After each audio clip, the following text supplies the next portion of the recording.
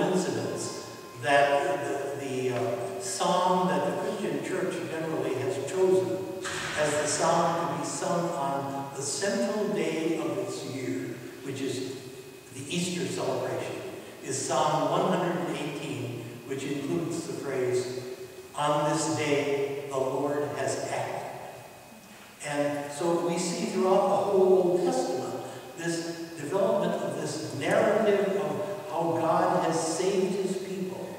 And then with the beginning of the New Testament, God sends his son into the world to fulfill the law for us, to, to suffer, die on the cross, to be raised again by the glory of the Father. He ascends to heaven, and where he reigns until he comes again on the last day to judge the earth and take all believers in him to eternal uh, life in heaven. That is If you look at the sermons of Paul when he goes out on his missionary journeys, that's the story that he presents to the people.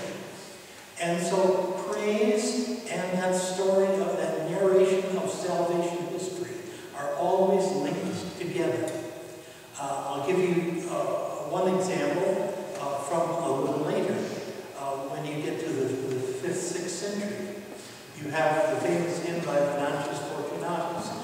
Sing my tongue the glorious battle, sing the ending of the fray. Now above the cross, the trophy, sound the loud triumphant lay. And what is that loud triumphant lay? Tell how Christ, the world's Redeemer, as a victim won the day. So Christians are encouraged in that hymn to sing of Christ who, as a victim, won the day. And that is the hymn which the church generally has appointed to be sung on, of all days, Good Friday, when we concentrate on the story of Christ's suffering and death. And this song from the 6th century holds up the promise that while we are contemplating that story, we look ahead because we know how it turns out. Sing my tongue the glorious battle, sing the ending of the fray. Tell us how the battle turns out. Now above the cross the trophy, sound the loud triumphant play. Tell how Christ, the world's Redeemer, as a victim, won the day. In our culture, victims are not winners. Victims are generally losers. That's the way we think of them. Christ was the victim, but he was also the winner because he won the day. And how appropriate that is that on Good Friday, when we think about Christ's suffering and death, we think ahead a few days because we know how the story turns out. It's not that we come to church on Good Friday and we think about Christ's suffering and death and then say, we go home now because we have to come back to find out how it turns out. We won't know for two days. Well, we know how it turns out. And that's what this hymn is encouraging us to do. This is the kind of narrative that Martin Luther uh, inherits uh, when in the 16th century uh, he, he begins what we refer to as the Lutheran Reformation. So I'm jumping to Luther now. Uh, Luther was an unusual uh, character. The uh, prominent musicologist, Paul Henry Lang, of the prominent musicologists of the 20th century, Paul Henry Lang, in his rather monumental Music in Western Civilization, speaks of Luther as a man who grew up with music ringing in his ears. And that's pretty true. Luther grew up as a young man. He went to the Latin school where the boys were instructed. Uh, he went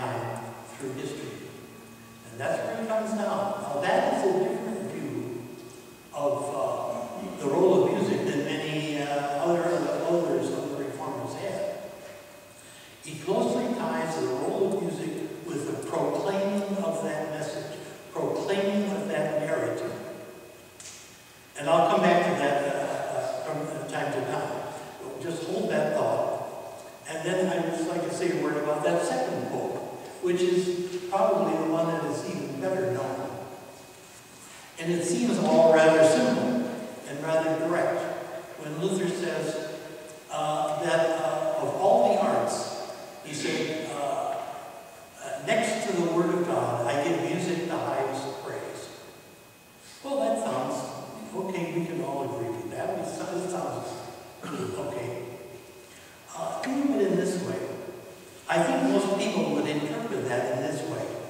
When he says of all the arts, music is closely, most closely related to God's Word.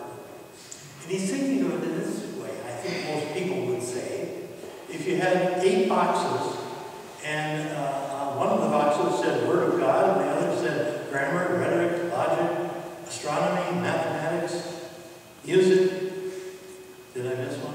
Uh, all eight boxes, and ask you to stack them up in the right order.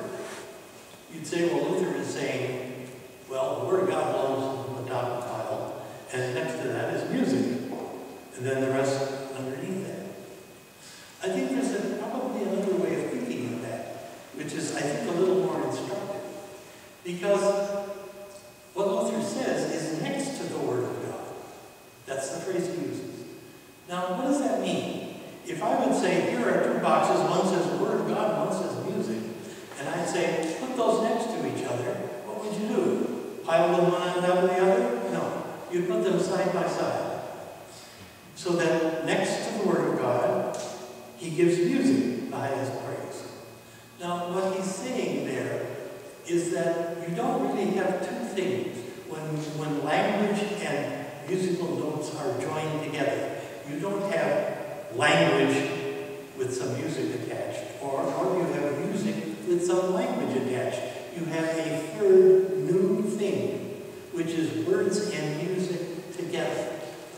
And that is what Luther was talking about, and that is reflected in a common phrase which developed in the Reformation time, which spoke of music as the living voice of the gospel, the viva vox evangelii, the living voice of the gospel. In other words, that the word, that, theology provides the substance, and music provides a vehicle which, when joined with that substance, becomes something which vivifies and brings to life the Word of God in a way that by itself is, is could not be done in quite the same way. Living voice of the gospel. That is what Luther that's how he spoke about the use of music. Always tied together with that overarching narrative story of how God acts to save his people. Uh, so much for those two quotes. And if you want to discuss those, we can discuss those later in the session that was announced. Uh, you have, uh, if, if you take the Reformation beginning in 1517 with the nailing of the 95 Theses upon the church, castle church in Wittenberg, uh, six years later, you have Luther prompted by a lot of activity in worship uh, going on in the Reformation, much of which he disagreed with, and people were telling him, you've got to say something about this. What do you think about this or that? What are your views on this? And so in 1523, he published his Latin Mass. Well, it's maybe surprising to some that a reformer who is best known for his bringing worship into the vernacular, that his first publication about worship would be a Latin Mass. Uh, three years later, he publishes his German Mass in 1526. And in between those two, in 1524, there were two significant publications. The one was a little collection of hymns called the Acht Liederbuch, meaning a collection of eight hymns. Uh, that's what it's referred to uh, as. Uh, the actual title was Etliche Christliche Lieder, some Christian songs. There were eight of them. Uh, they didn't all have melodies attached. Some had just the words, but five of them had melodies. Just the melody, uh, and then with, with the words. And if you look at, the, at those hymns, and you look particularly at the first hymn, now Luther is publishing, Luther and his musical cohort, Johann Walter, are responsible for this publication. Well, you would expect that that first hymn would maybe have some significance, and it does. Uh, you have that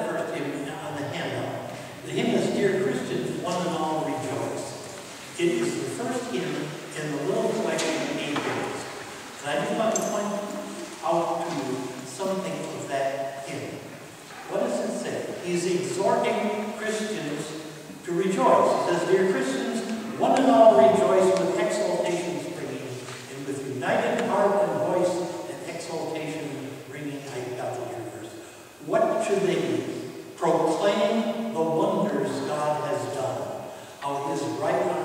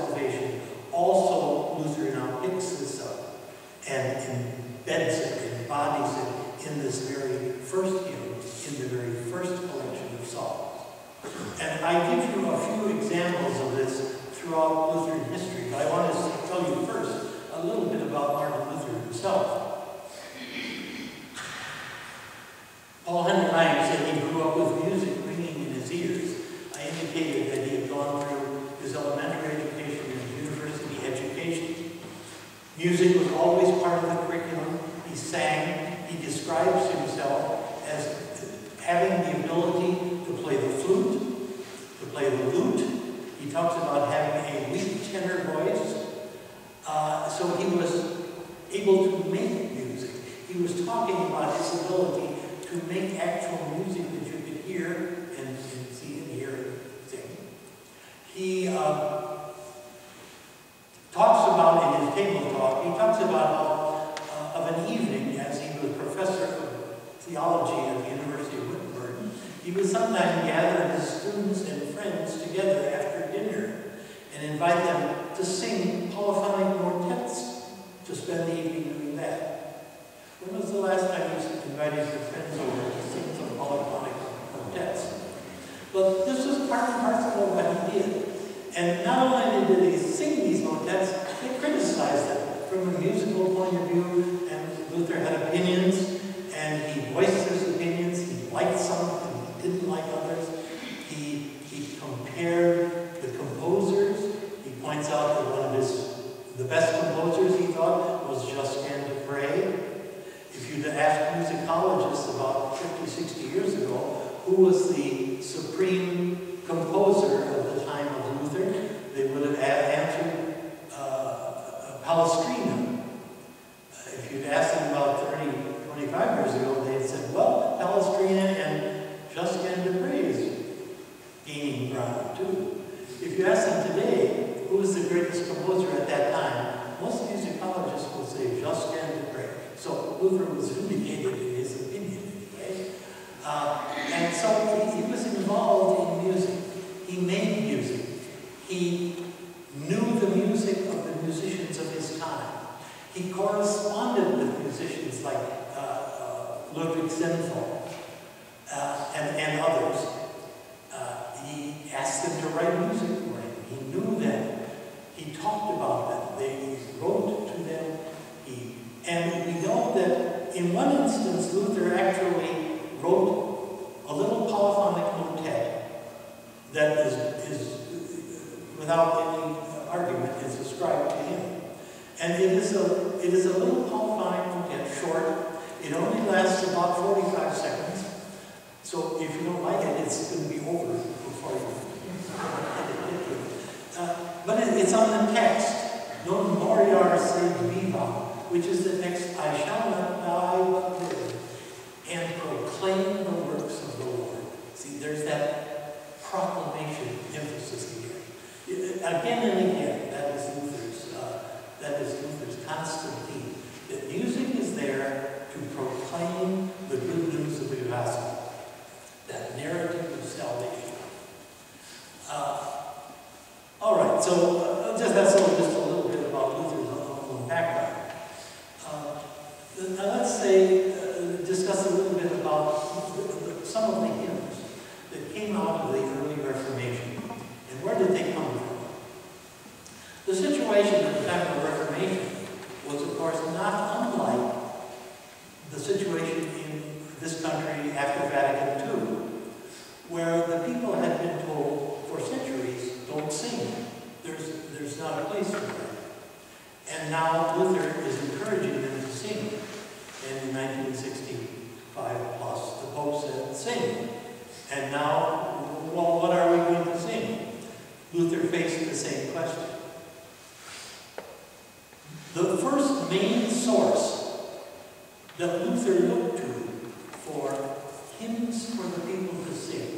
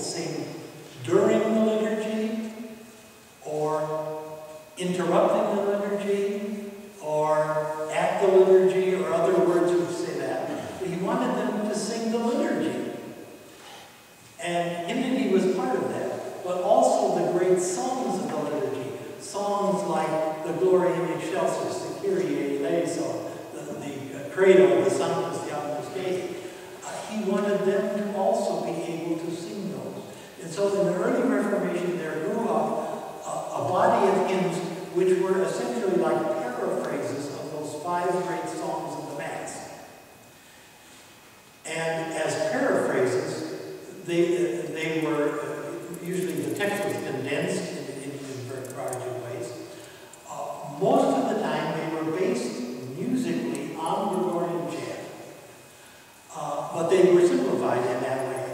So that the idea was that people, in singing these paraphrases, were not singing like a poor man's version of the period, because they couldn't sing, the, they couldn't handle the Gregorian chant or the Gloria. So we'll give them this to sing. But rather, they were singing the Gloria in Excelsis, but in a, in a, with a text and in a musical idiom and a form that was more suited to their uh, capabilities he wanted them to sing the liturgy.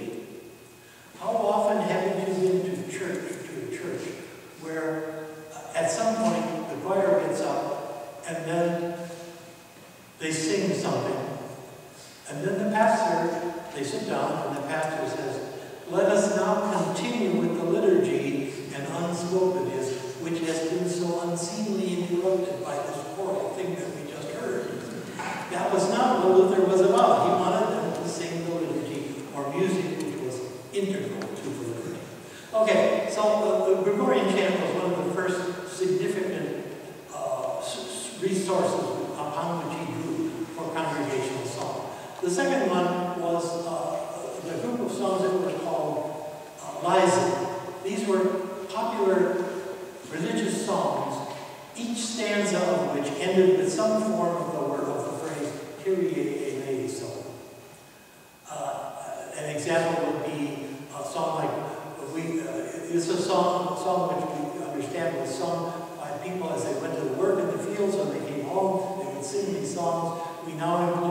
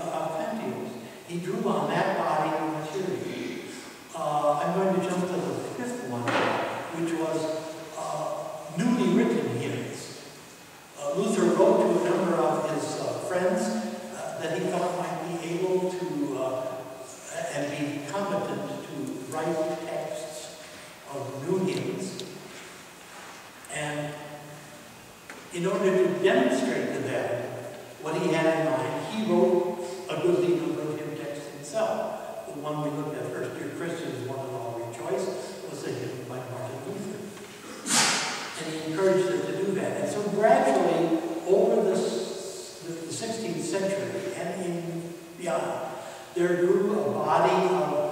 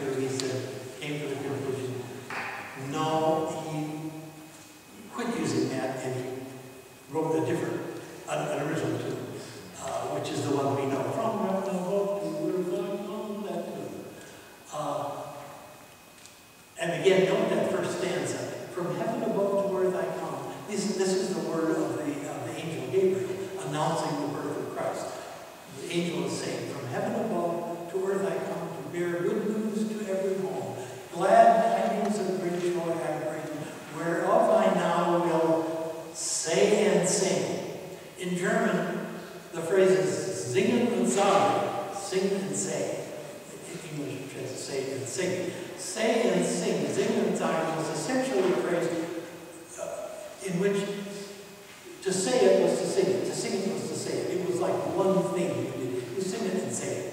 Uh, and uh, so he's emphasizing again that we are singing this good news.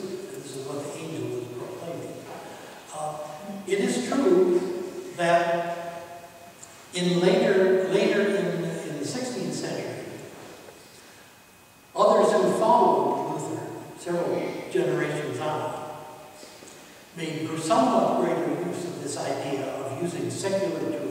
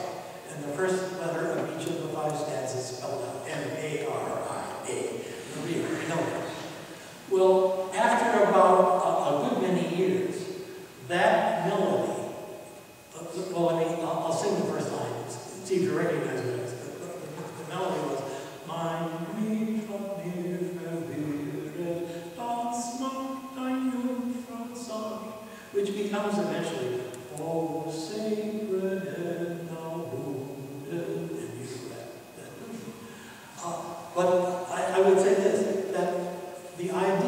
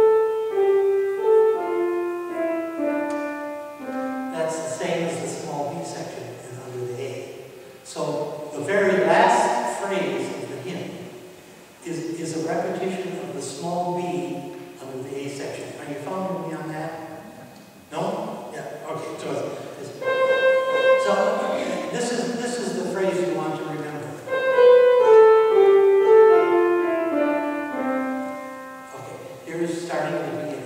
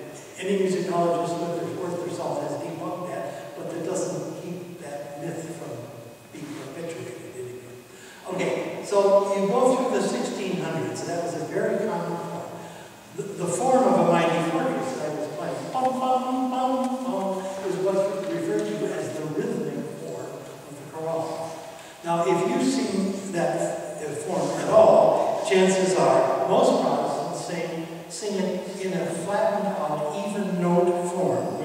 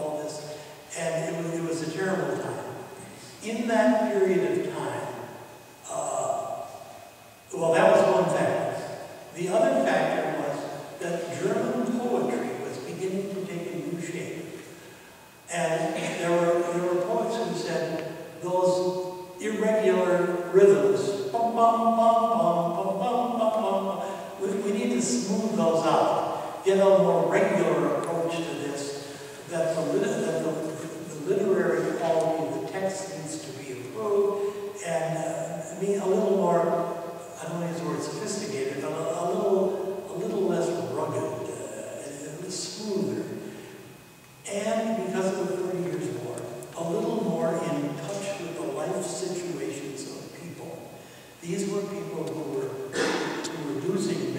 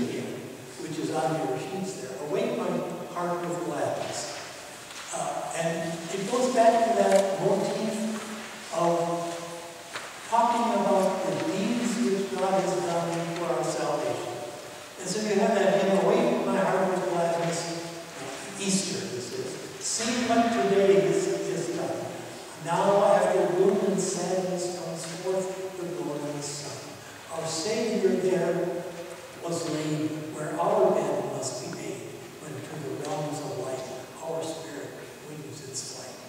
And it's saying that our Savior